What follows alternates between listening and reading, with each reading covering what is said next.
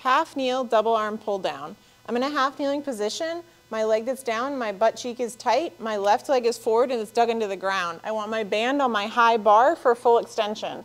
I have a handle in each hand. I'm gonna square myself to the wall, pull my chest through the hole, shoulders down, exhale as I pull, pressing through my floor.